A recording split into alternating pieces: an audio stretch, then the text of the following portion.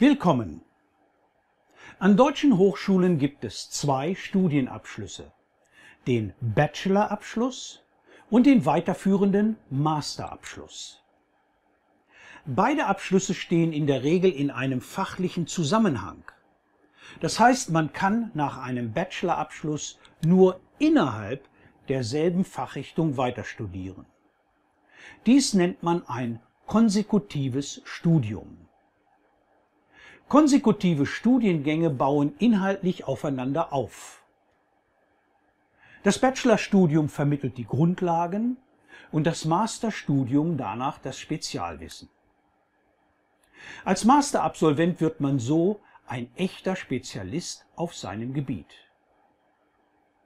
So kann man zum Beispiel mit einem Bachelorabschluss im Fach Anglistik nicht ohne weiteres ein Masterstudium in Informatik aufnehmen.